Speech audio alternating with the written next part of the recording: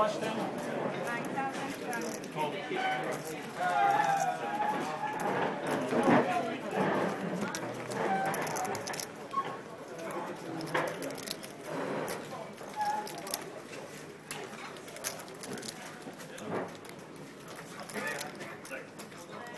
Grattis!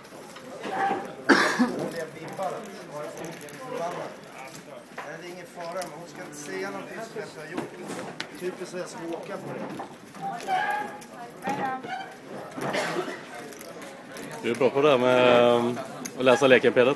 Ja. Du är bra på det här med att läsa leken Peder. Police Station Peder.